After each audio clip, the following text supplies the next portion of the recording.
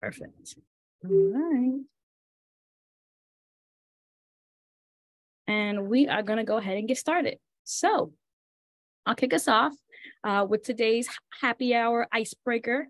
Um, for those of you who are familiar with being on our co-op circle happy hours, this is our week, well, monthly now conversations just to share information and knowledge around, you know, what might be an interesting, compelling topic or challenge that you might be facing, or just an opportunity to share information um, about what might be taking place in your realm within the cooperative community. And so this, like I said, today's conversation is going to be focused on advocacy, um, but uh, I'm just going to take a moment to introduce myself. My name is Maisha Hedden. I am one of the uh, staff members supporting NCBA CLUSA. I'm actually working in a, a consultant capacity with the membership department, uh, supporting the Co-op Circle platform, as well as the volunteer councils that you will hear a little bit more about later on.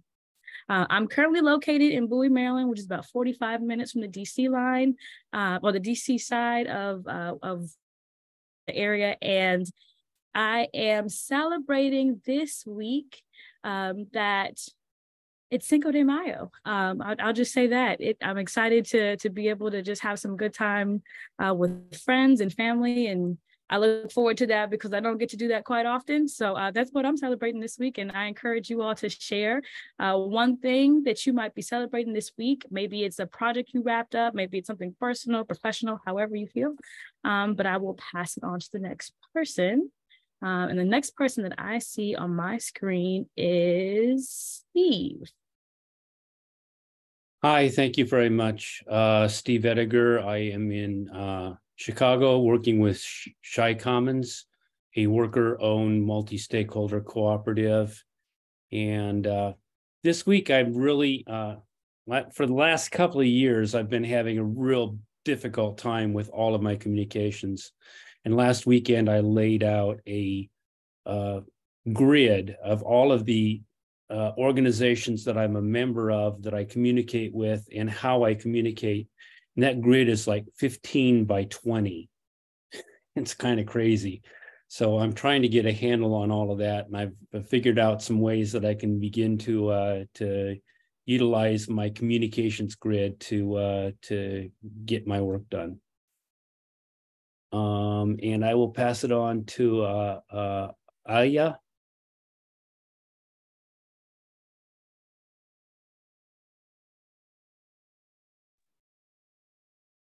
Here we go. Looks like I found my unmute button there. Uh, but thanks so much, Steve, and thank you all for joining the Co-op Circle. Aaliyah Ned, Director of Government Relations here at NCBA CLUSA.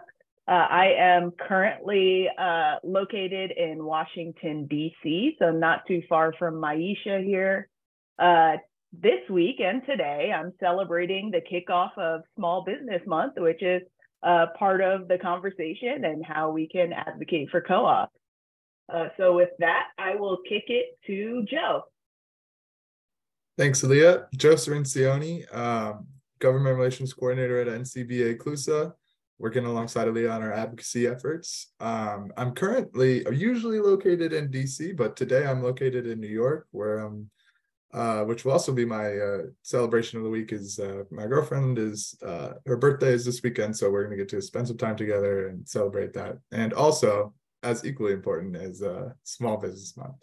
So, thank you all for joining us, and uh, happy to see you all here today. And I'll pass that on to Rodrigo. Thank you. Hi, everyone. My name is uh, Rodrigo Gouveia. Um, I'm the CEO of Promo Co-op, uh, which is an international partnership uh, that offers advice and consultancy on co-ops around the world. So we do uh, international projects. Um, the thing I'm celebrating this week is the start of a, a very interesting project with we're we're doing in Kenya to develop a pilot uh, health co-op there. Um, so that's that's going to be very interesting, I, I think. So uh, I'm located in uh, uh Silver Spring, uh, Maryland, just outside DC, uh, but I'm originally from Portugal. So I'll pass it on to Tamela. Thank you, Rodrigo. Hello, my name is Tamla Blaylock um, with um, NCBA CLUSA. Should update my name. I am at my home office in the DC area in Alexandria, Virginia. And today uh, I am celebrating that today is Friday and we have made it because we had our annual member meeting this week. So I'm happy that it's Friday. I'm happy that the sun is out and that there is no humidity in the DC area because it is coming. and for that, I will pass it on to Shar. Hi there, I'm Shar Breeze. Um, I'm sorry if you can hear some background noise. Um, I'm working from home in Western Wisconsin and we're getting our house re-roofed today um, pretty unexpectedly. So um, I apologize if you can hear some background noise, but um, Shar Breeze again with Cooperative Development Services. I'm a cooperative development specialist. We are a co-op development center that's based um, in Minnesota, but also serve Wisconsin and Iowa. So the upper Midwest and a um, something that I want to celebrate this week is that Stuart Reed and I, some of you may know Stuart as the former executive director of Food Co-op Initiative um, he uh, uh, recently retired at the end of last year, and uh, CDS has brought him on in a contract position um, to help with a project that we're working with um, a tribal nation in northwestern Minnesota um, regarding the potential and feasibility of a food co-op uh, for the reservation. And so we just held eight community meetings um, in this past week. Um, bringing uh, tribal members together to discuss what, number one, if they'd like to see a food co-op, and number two, what they would like to see in it. And the response was overwhelming. And so while it was a long week, was very successful and happy to have done that. Thank you.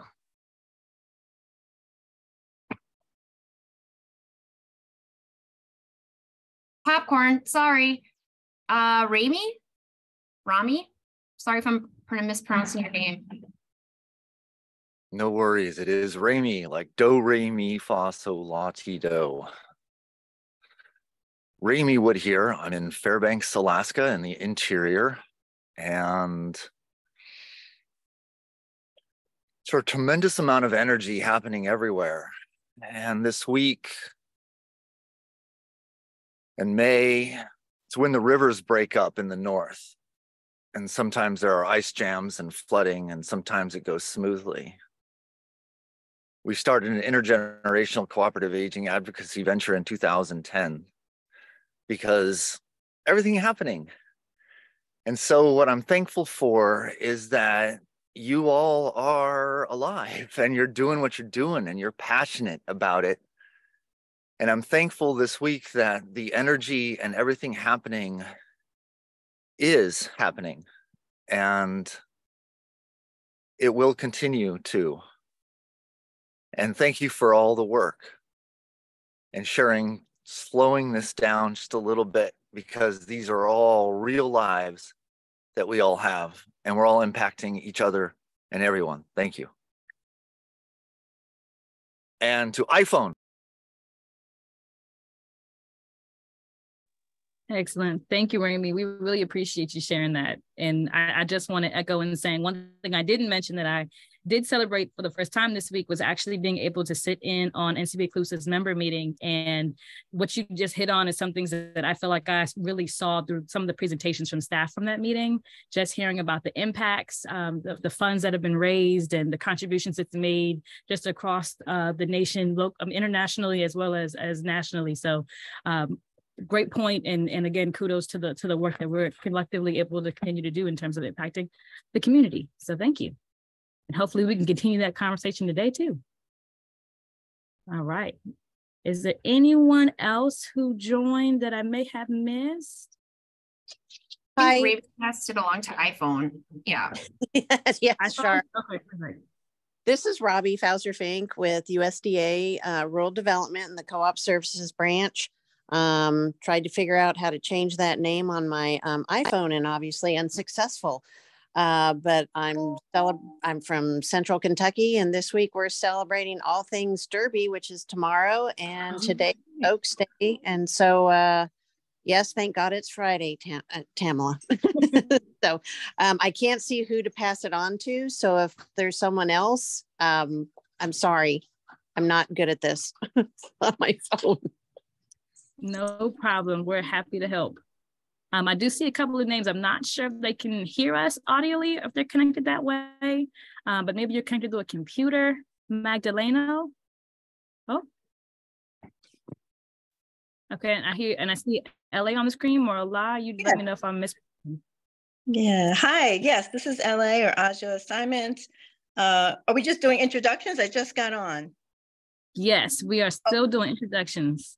Okay, I just got off another call. So this is, um, I am co-director for Georgia Cooperative Development Center, also president for Digico Global Business Solutions, uh, and a member of Columinate Co-op Consulting. Excellent. Thank you. Well, welcome. We appreciate you joining us and glad you Thank were able you. to hop in. Uh, one other thing we did want to ask, because you did share where you are and you did share what cooperative you working you're working with, but what's something that you're celebrating this week or a great experience that you had that you just want to shout out on a Friday? I am celebrating personal breakthroughs that are impacting my life and my work and my business in ways I could have never imagined. So that's what I'm celebrating. wonderful, wonderful. I love that. I love that. Very, very, very positive way to to end off our introductions. Excellent. But if I did miss anyone else, please feel free to unmute yourself and interrupt us because I want to make sure that we get to meet you as well. All right. I don't know if Naya Musenge introduce themselves? No. Oh, okay. Okay. Thank you for that, Steve. Okay, and I have one more person I'm in, um, adding to the, the meeting. All right. Hi, Cynthia. I don't know if you can hear us, but we are just getting ready to do introductions or wrapping up introductions and want to make sure we give you a moment to share. I know we're putting you in the hot seat, just admitting you to the call.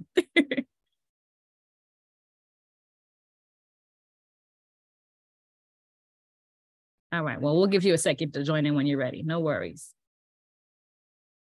All right. So again, thank you all so much for introducing yourselves and making sure everyone's familiar with who's in the room. Um, I know a couple of folks joined on maybe a, a moment or, or, two ago and may not have heard me share in the beginning that uh, this is our monthly happy hour conversations. Um, we are going to be speaking about uh, celebrating Small Business Month um, and having conversation around cooperatives and advocacy. And we have guests from the NCBA CLUSA government relations team joining us to lead the conversation. Um, I'm going to just give a quick introduction around Co-op Circle and then pass it right on over to Aaliyah and her team um, to go a little bit more into detail. So with that, I'm gonna share my screen one more time and just give you a quick glimpse at how you can get started and connected in Co-op Circle. So many of you may already be acquainted with Co-op Circle um, and may have been how you were able to join today's conversation. Uh, and if you haven't got connected with the platform, I encourage you to do so, especially if you're if you have any challenges that you might be facing, resources you might be looking for, job opportunities, you name it. Uh, there's a community in this platform for you to connect with your peers within the cooperative community. Um, you'll get started by creating a, a, a profile, um, and then you will uh, introduce yourself in the space, just share a little bit about who you are, um, and then we'll try to get you acquainted with a group to be able to join. So I'd like to share that with this process, it's pretty quick and easy to get started. They ask three simple questions. What's your full name, your email address, and a password that you like, and then you're in the system. Once your profile is created, you just pop a message in, introduce yourself to your peers, we have a few prompts that'll help you get, you know, acquainted with what kind of a little, maybe two sentence spiel you want to share. Um, but it's a great way for you to put your leg out there and let folks know that you've joined the community. Okay. I'll pause here and see if there's any questions because I know I can go through this pretty quickly. Uh, but I want to make sure there aren't any questions before I switch over to talking about some groups you can join.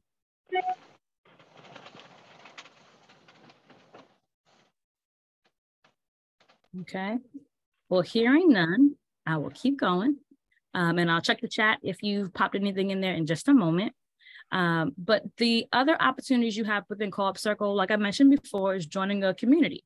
We have small groups and sector groups, which are two areas within the platform that allows you to join uh, individuals who are like-minded or have a similar desire to have conversations on a topic or interest area like you.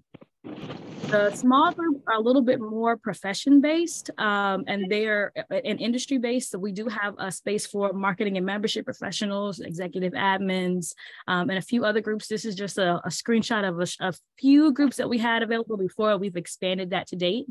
Um, if for whatever reason you see that there's not a group there that really speaks to what you're looking for, we're able to create that in real time. Um, so just let us know and we are happy to design that space for you as well. The other community that we have is the sector groups. And this is a little bit more specific, like the title says, it speaks to the industry itself.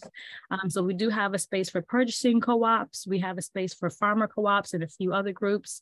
Um, we do also allow for cohorts to exist in this space. So if there was an event that we had, like the roundtable last year's impact conference there's a community here where you can join in in dialogue with peers who uh, again have similar interests to that topic in that conversation Okay. Um, so I will pause here with some of the information that I've covered um, and ask if there are any more questions. Nope. Anything in the chat. Perfect.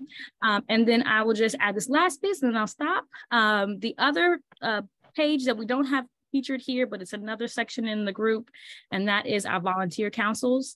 Um, you can check that space out within Co-op Circle and see what, what groups are available um, for you to be able to read a little bit more about. But in the coming weeks, we will be sharing more information about the volunteer groups, how you can get connected with them, how you might want to sign up and join.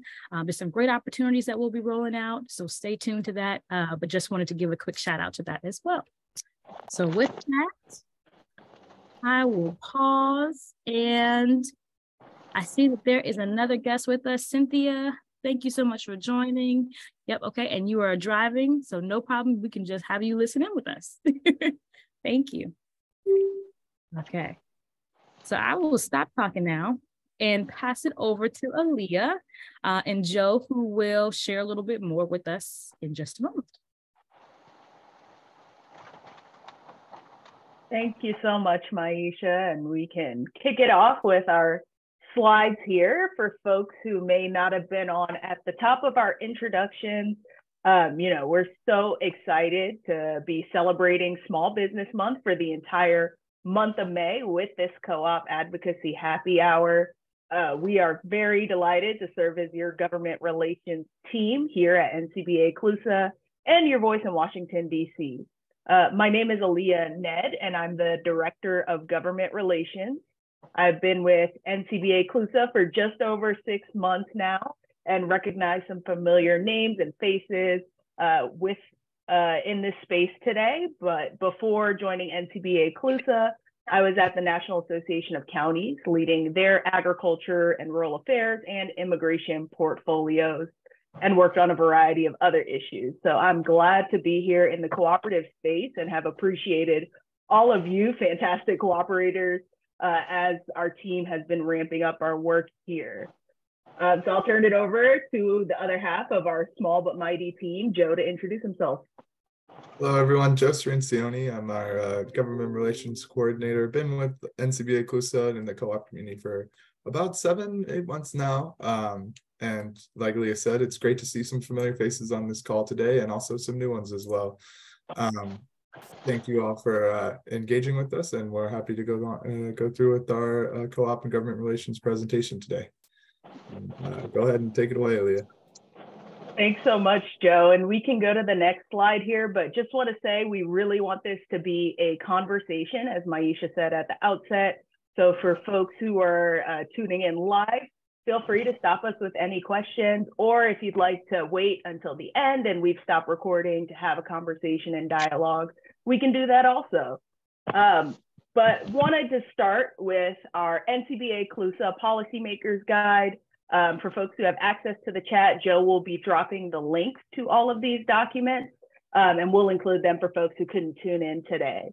Um, our policymakers guide is an annual document that's really to be used for both our members and for you to pass along to uh, policymakers at all levels of government, whether that's your local government, city councils, county commissioners, or at the federal level for us to use with new members of Congress on educating them on what are co-ops, what do they do, and how can we continue to advance uh, this business model within the country.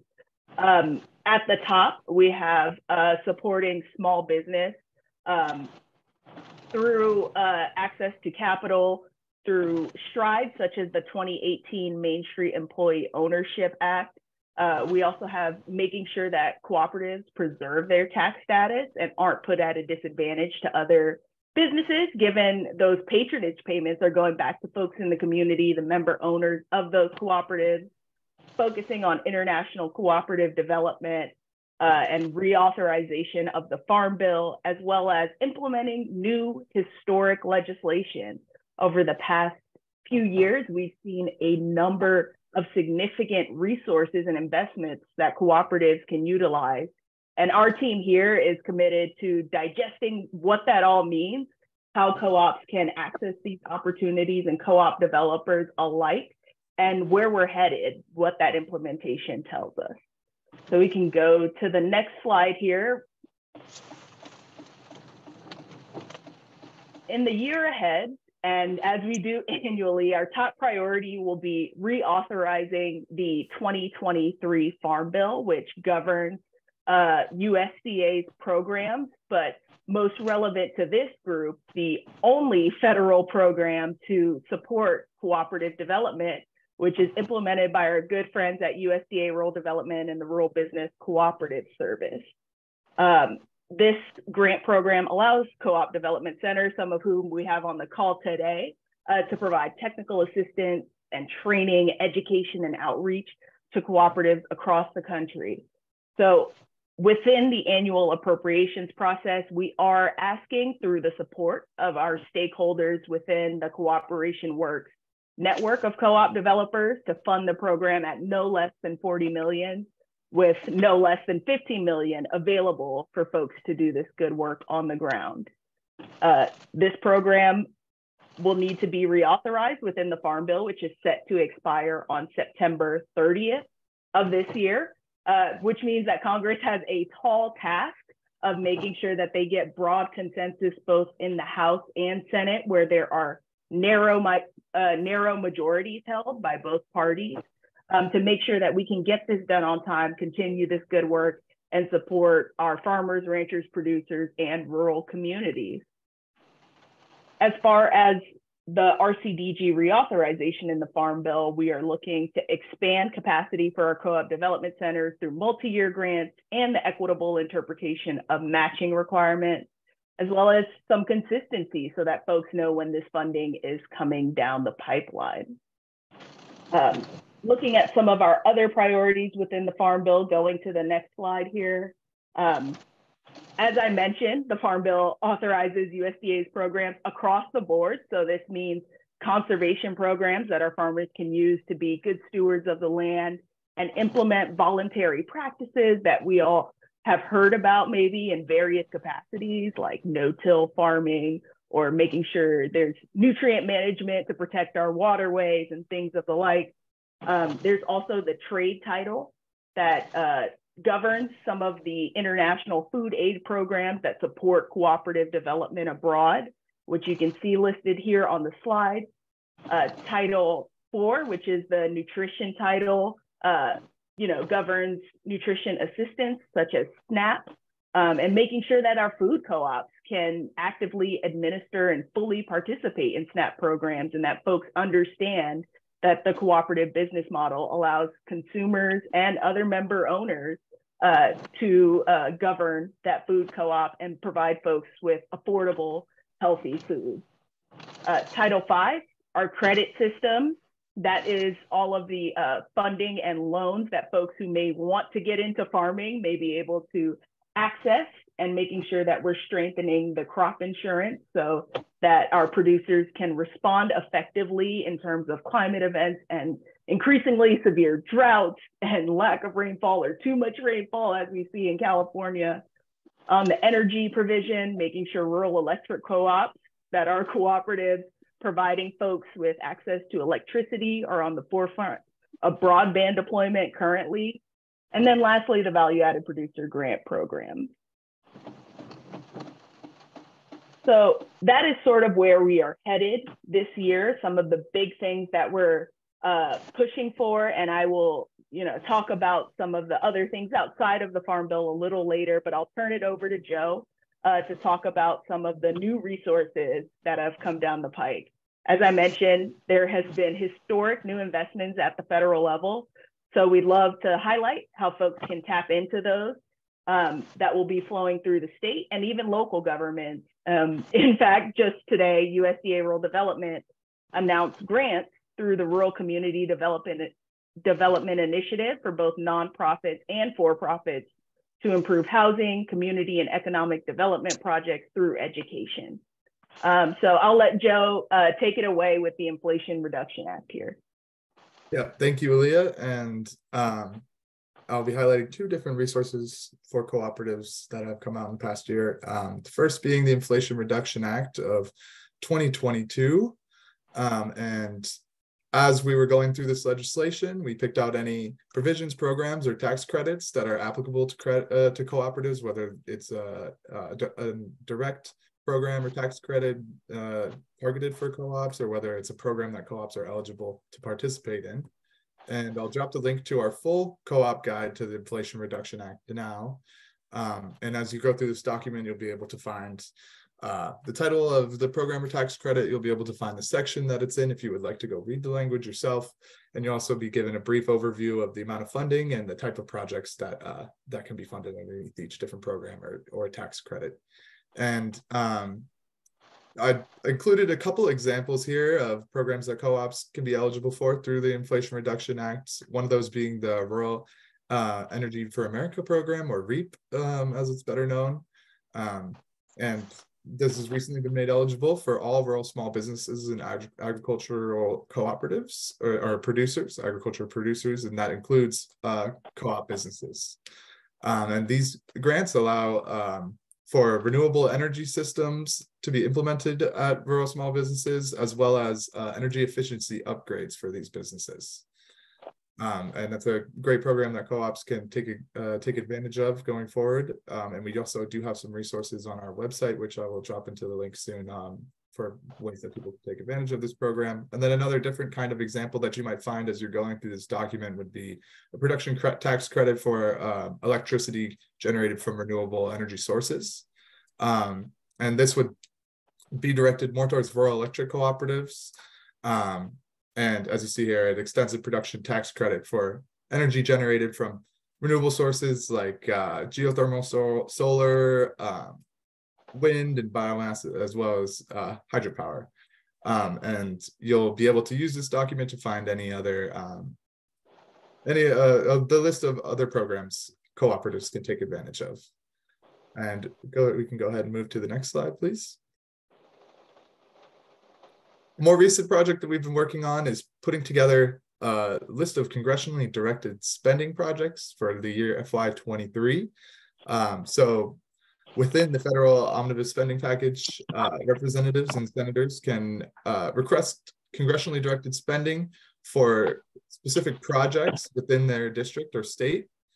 Um, and within these FY23 earmarks, as they're more commonly known, there are many different programs which co-ops can take part of or which programs that are directed towards cooperatives. Um, and you'll see that in my example here, for example, there's about uh, 1.7 million going to the Sprout Fiber Internet uh, project in Cullman, Alabama to uh, install 35 miles of fiber broadband by the Cullman Electric Cooperatives um, which will serve approximately 252 homes and 28 businesses. Another project that is more open-ended and less directed at a specific business would be 1.2 million for the Balance Innovation Hub Minority Business Support Program in Northeast Ohio, which will increase the capacity for business support services um, assistance to startups and um, small businesses, including cooperatives. Um, so keep an eye out as uh, we'll be putting together a more public facing document that will uh, have the full extent of all these earmarks for FY23. Um, and we can head to the next slide. And I'll pass it back over to Aaliyah to talk about some uh, new state resources. Thank you so much, Joe. And, you know, we've laid out some of the federal opportunities that are there, some of the more local uh, opportunities that are rolling out. Um, so I'd like to highlight some new state resources. And on all of these, if you have questions, Joe and I are just an email or a phone call away. So please don't hesitate to reach out as you're looking through this information. Um, on the state side, we've seen a lot of energy and movement through state legislatures and other initiatives that come from the federal government but are being governed by states um, around cooperatives, particularly around employee ownership and worker co-ops. Uh, the first one on the list here uh, is the Washington State Revolving Loan Fund and Tax Credit for Worker Co-op Conversions. Uh, the Northwest Co-op Development Center operating in Washington was critical and pushing this forward and NCBA, CLUSA, and our other members were happy to support these efforts to get this passed uh, just a few weeks ago. It would create a revolving loan fund to allow businesses to convert their um, convert their business to a worker cooperative, as well as provide tax credits for those conversions. So very happy to see that for folks in Washington. Um, more broadly, there is the State Small Business Credit Initiative for worker co-ops and worker co-op conversions. This is going through the Department of Treasury, and I've dropped a link to our blog post where you can find more information on who the contacts in your states are, how you might be able to tap into these resources, and where you can sort of funnel your questions or concerns about the program. So I'd encourage you to check it out. Each state is a bit different, um, and building those relationships with uh, your state offices across federal agencies and your state policymakers is crucially important eh, when advocating uh, for co-ops and building those relationships. Uh, going to Colorado, they also recently passed uh, legislation to establish a center for employee ownership, which includes worker co-ops. Um, so there is a lot of energy. Our team just want to highlight we're doing advocacy at the federal, state, and local level as much as we can, and appreciate you all bringing these to our attention or letting us know uh, what priorities you might have in your communities. And we can go to the next slide here.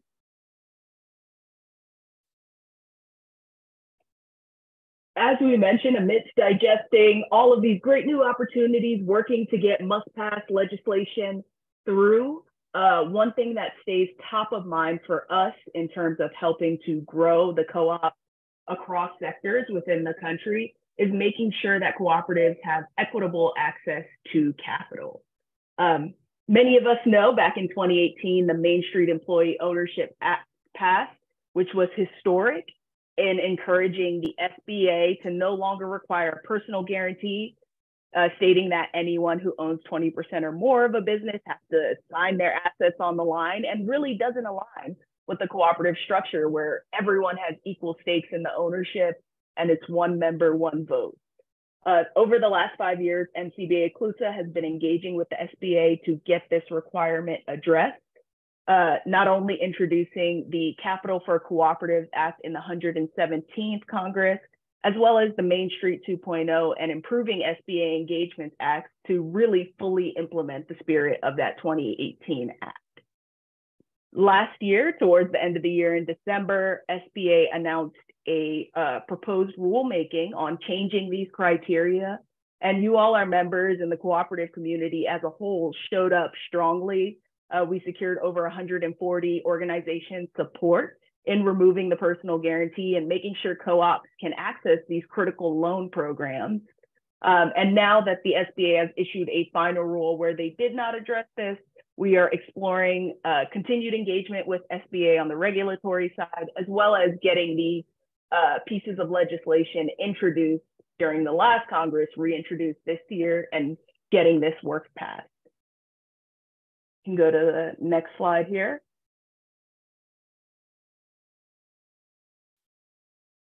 So looking at the burning questions that I'm sure you all are here to hear about today, how can you get involved in advocacy work, whether it's your co-op, your members, um, or across the board with your state and local governments or the federal government. So we just want to talk about a few uh, top line items that you can do today or throughout um, as you're looking to enter the co-op advocacy space. Um, top of mind for us right now is supporting the Cuban cooperative sector and international cooperative development more broadly. Uh, NCBA CLUSA recently signed on to a letter uh, to help uh, uh, to encourage the Biden administration to engage with the Cuban cooperative sector, as was precedent prior to the previous administration, and support cooperative development, which has a strong presence in Cuba, and to make sure we're maintaining that relationship. Uh, this is just one of the immediate action items, but I'll turn it over to Joe to talk about some of our more longstanding initiatives. Yes. Um, within the House of Representatives, we uh, we host a Congressional Cooperative Business Caucus, um, which is which is chaired by um, Jim Baird and Mark Pocan. And um, let me drop the link to our um, advocacy page, which will show you all the members on the Congressional Cooperative Business Caucus and also hosts a letter, which you may send to your member of Congress, asking them to join the Congressional Cooperative Business Caucus, which is really important to our work as it helps um, create greater visibility for the cooperative community um, at the federal level. And it also advances our advocacy work um, and will provide a great resource for people looking for uh, co-op friendly legislators within the House of Representatives.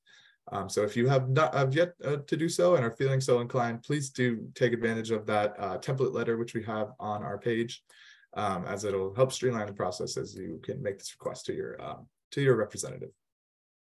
And I'll pass it right back to Aaliyah.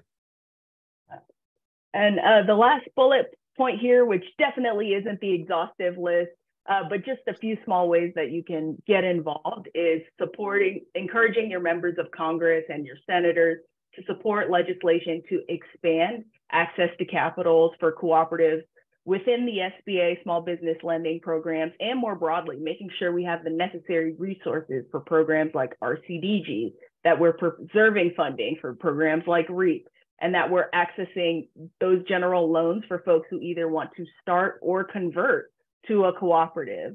Um, as I mentioned, we are working to reintroduce legislation such as the Capital for Cooperatives and Main Street 2.0 Act to build on the good work that the cooperative community did uh, five years ago with passing the 2018 Main Street Employee Ownership Act um, and make sure that it's fully implemented by the SBA. Uh, we know we've thrown a lot of information at you today, and we're happy to serve as your voices here in Washington, D.C. But ultimately, you all are cooperators who are doing that great work on the ground, making that difference in your communities, providing those necessary services, and ultimately advancing a more equitable economy are the best advocates within uh, the cooperative movement. Uh, you have a direct line to your legislators and lawmakers as their constituents, and they will listen to what you say. So we appreciate everyone's engagement, their cooperation, and we're always here if we can be helpful. Uh, but I think that is it for you today on the presentation side of things. So we'll open it up for some Q&A and open discussion.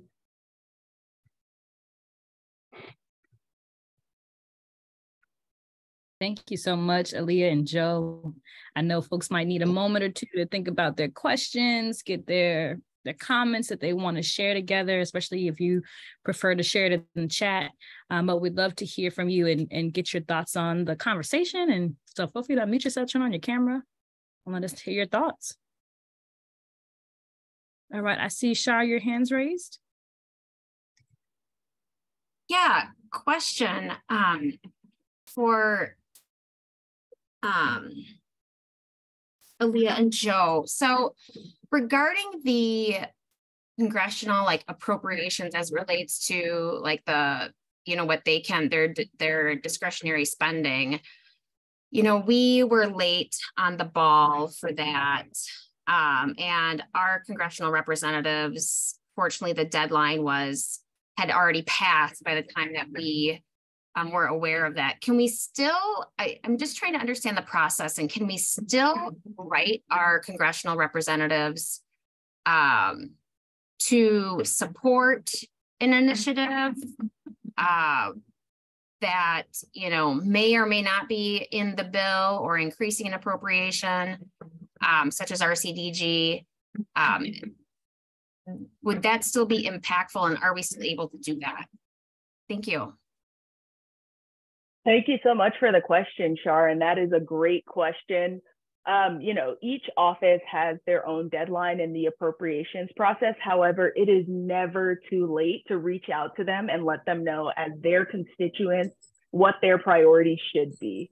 You all have that direct line. You're doing the work in their communities that they then uh, bring back and uh, uh, you know announce at the federal level. So it's never too late to let them know where funding is most needed as it relates to this year's appropriations process. No, it is not too late. Pen has not been put to paper at all. So we'd encourage everyone on this call today to call on their representatives and senators to support the RCDG program, to support USDA rural development and rural business cooperative services and the critical uh, services that they provide to us as a community and generally uh, building out the ecosystem for cooperative development more broadly. So the short answer to your question is no, it's not too late. Early and often is the guidance, but you know, with pen not being put to paper for this year's appropriations bill and negotiations very much ongoing outside of uh, specific appropriations, but discretionary spending at the federal level more broadly. Great time to reach out to folks. Thank you. I really appreciate that. And again, I are also I just wanted to say to your point on the slides with the titles um, in the farm bill to um, that you guys are keeping an eye on to make sure that food co-ops are eligible um, you know to tap into um, those benefits on behalf of their members that's greatly appreciated thank you Absolutely.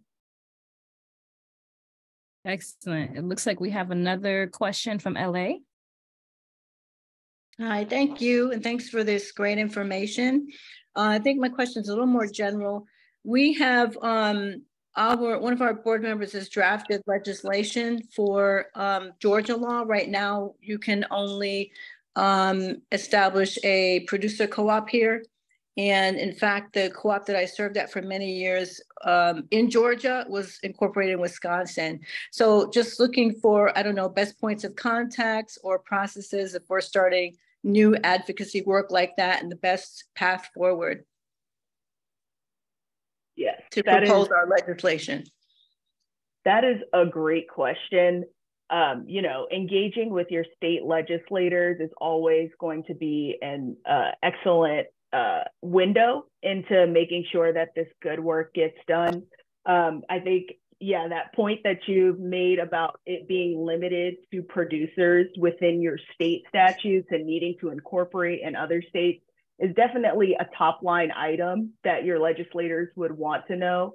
Um, if other folks, as an aside, are wondering what their state co-op statutes are, NCBA CLUSA in conjunction with the University of Wisconsin, maintains the state co-op statute library, which you can find on our website.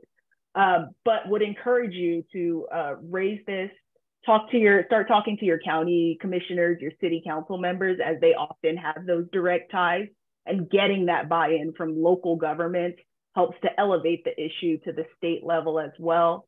Um, would be happy to connect with you as well offline if you want to drop us a note or your email address on who that might that contact might be when it comes to the direct ties to your state legislators. But building those connections through all levels of government is critically important in getting general buy-in and folks ultimately want to do what's best for their state, their district, their constituents. Mm-hmm. Okay, thank you so much. Perfect. Thank you for that. All right, we got another raised hand, Steve. Um, thanks. Um, we're pretty fortunate in Chicago that uh, in that our current mayor for the next few days, uh, who was voted out of office, um, did uh, grab about $15 million from some federal funding. I don't remember whether it was the uh, Inflation Reduction Act or uh, one of the uh, COVID related acts. Um, and is releasing that to a community wealth building project targeted at um, funding um, startup co-ops, worker co-ops, which is great. Unfortunately, as governments do, you know, they they approached it more from like a public-private partnership uh, approach or a um, nonprofit industrial complex kind of approach. And um, so that money is not really ending up in hand, the hands of small uh, co-ops that are getting started. Um, and it's not being, you know, the the funding is not being developed in that manner. So um, uh, that's just a comment. You know, things are going well here in Chicago and there's a lot of co-ops popping up. However, uh, we're not really getting the kind of support that we need from the government, either local or federal.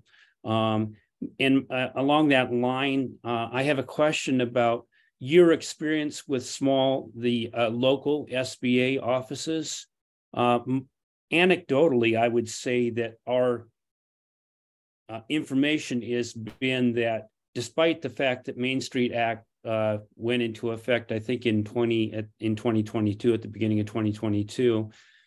Nothing has really changed in those offices. Maybe one or two offices have started offering co-ops as an alternative, but by and large, that message has not gotten into those offices. What what is your experience with that?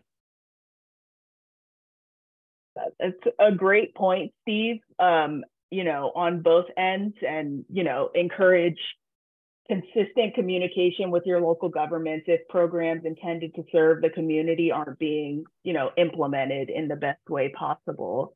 Um, on the sba local offices you know in attending uh, committee hearings for small business committees um, that's something that we've heard time and again is that not only is staff capacity at the local office not there but also some of the information being shared from headquarters making its way down to the local office and fully implementing the spirit of Main Street and employee ownership initiatives more broadly within SBA um, hasn't truly happened. As advocates, you know, the best uh, way for us to make inroads is to be consistent in our messaging, to talk to them, to tell them, hey, this is something that we crucially need here's the good work we're already doing and here's the work that we could do with continued support.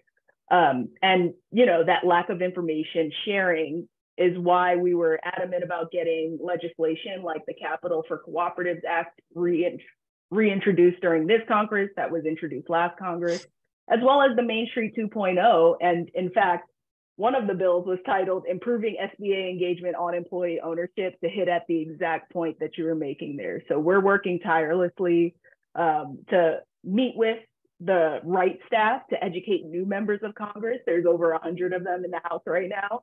Uh, so we've got our work cut out for us as a small but mighty team here, and we'll continue to uh, carry that message forward. But ask that you know you all as constituents do the same and elevate those concerns. Thank you. Excellent. Thank you for that. Anyone else have any questions or comments, challenges that you might be facing that you want to bring up regarding today's conversation? All right, Robbie, I see your hand raised. Good afternoon. Um, I just oh, hopefully um, not stepping on anyone's toes, but I, I had an interesting conversation where we were at a meeting in Pittsburgh with the representative. Um, she's a Congress, uh, Pennsylvania Congress uh, lady, Sara Innamorato, and she works with Senators Casey and Fetterman, and I think Representative, uh, yeah, Summer Lee for co-ops. Um, and we discussed they needed loans there in Pittsburgh, which unfortunately rural development can't do.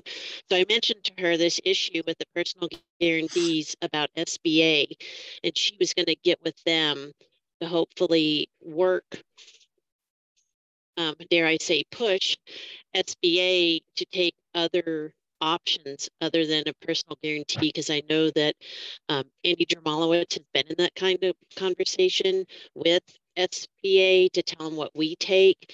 Um, so I don't know if it's helpful for any of your Pennsylvania membership members to maybe reach out to them because I also mentioned that it would be really great if they would they used to have a co-op center within I believe SBA from what I've learned if they would reinstitute that and also start training their staff at the SBDCs about cooperatives. So don't know if that's helpful um, for you guys to know.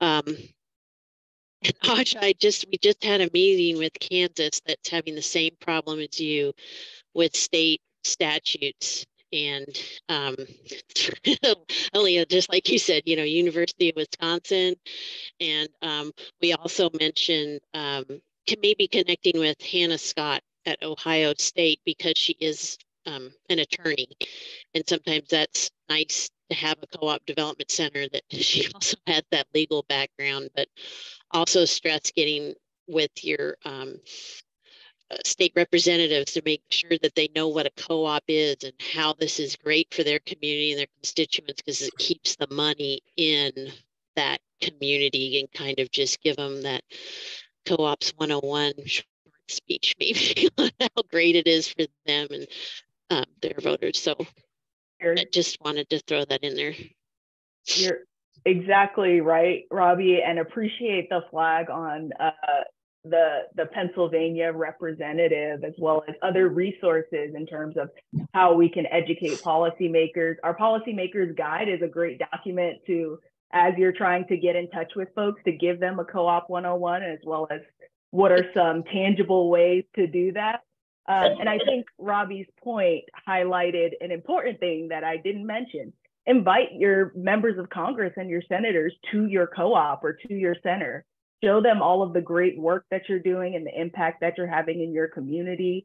Uh, again, when you talk about the economic piece of it, folks can't argue with that, but also talk about, you know, just the social component of it and how co-ops serve multi-purposes within communities um, and can address a number of different uh, issues and be solutions as a time-tested model.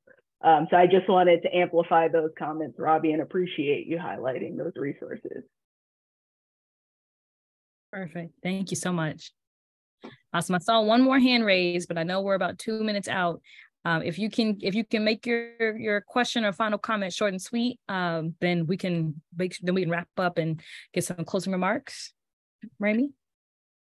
Yeah, I'll do that short and sweet. You know, with all the structures and with all the legislation and all the states, we draw these lines of borders between us and disciplines and hierarchies, and we're all people and so, as we have to maintain our positions and leverage the power and the positions that we have, we also know that these are all temporary. We didn't have them yesterday and we won't have them tomorrow. So, remind all those and each other in our positions that we are people, that the co op ideals are the care that we share, the abilities, the questions, the vulnerabilities. And in that practice, with everything going on, as stressful as it is, instead of having to sell or promote the 101 we can just relax and allow people in a sense to find it on their own and then meet them with all the products and the supports and everything else when they themselves find that it's grounding to help their work get done thank you that was powerful. I i 100% agree with you on that. Being able to have that opportunity for it to be an organic conversation where it's just second nature definitely agree agree. I just talk about co-ops everywhere i go. Anybody who will listen i will give i i have my co-op spiel but i'm going to go right down to my city uh, council and my uh, county commissioners and do the same thing thank there you Annie. we love it yes well, I know that Joe and Aaliyah have been dropping several helpful resources in the chat. So I encourage you all within these last 60 seconds before we sign off to save whatever links that you can. Um, but I know that they have also shared their contact information. So please feel free to email them directly. I believe I'll give Joe the floor to just repeat the email one more time. Yes, the email to contact uh, that will go both to both myself and Aaliyah is uh, advocacy at ncba.coop. Yes, so if you have any questions, feel free to pass them along to them. Um, the last thing that I have before we sign off um, is just to encourage everyone to join us next month for our next happy hour, which will be on Friday, June 2nd from 1 to 2 p.m. Eastern Time. Um, and this will be a conversation that's focused on uh, supporting cooperatives and their marketing strategies. So we will be continuing to have these really engaging and helpful conversations um, and just giving you a chance to connect with each other. Um, you may not have um, met the persons in the room today beforehand, but we encourage you to do so in Co-op Circle as well. So with that, I will close us up um, and thank you all so much. Hope you have a wonderful weekend. Thank you again, Aaliyah and Joe for your time. Thank you all. Thank you. All right. Thanks, everyone.